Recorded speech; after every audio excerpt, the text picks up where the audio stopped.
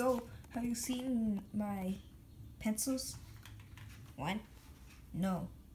You have it right there. And why you have a mouse? Why you have a mouse right here?